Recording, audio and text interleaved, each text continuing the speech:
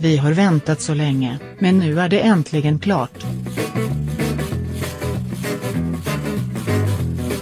Snart kommer vi få se Daena Rys Targaryen, Jon Snow och Tyrion Lannister återvända till tv-rutan i den sista säsongen av Game of Thrones. Tidigare har det varit klart att fantasyserien ska släppas någon gång i april 2019. Men nu har HBO avslöjat världspremiären av den hyllade tv-serien.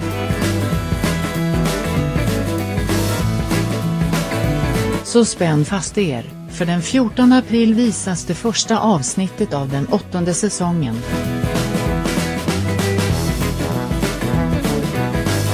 Dock visas inte Game of Thrones i Sverige då, utan dagen efter den 15 april på Von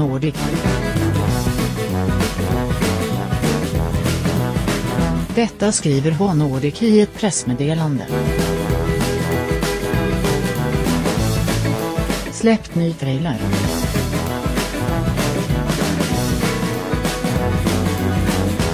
Streamingtjänsten har även släppt en ny trailer inför den sista säsongen i Krypts och Winterfell. I trailern ser vi Jon Snow.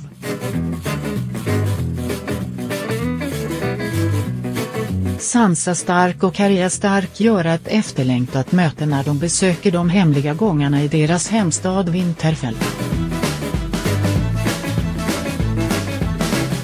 När marken plötsligt fryser till is så kan vi bara ana vad som väntar, White Walkers någon. Den åttonde säsongen kommer innehålla sex mastiga avsnitt, när det sjätte och sista avsnittet är hela 82 minuter långt.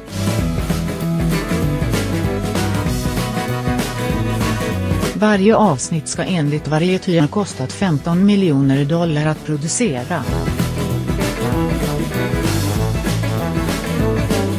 Inspelningen påbörjades redan hösten 2017, därför kan vi förvänta oss en både påkostad och välgjord avslutning på den hyllade tv-serien. Boka tid för terapi.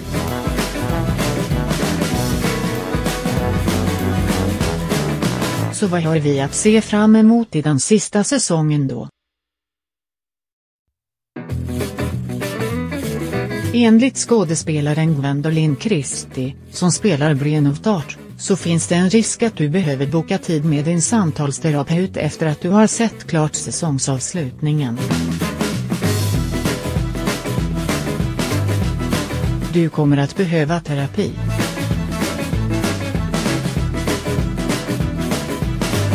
Jag tror att slutet på säsongen kommer göra att hela världen behöver få professionell hjälp, var Gwendolyn Christies exakt ord i intervjun med The News.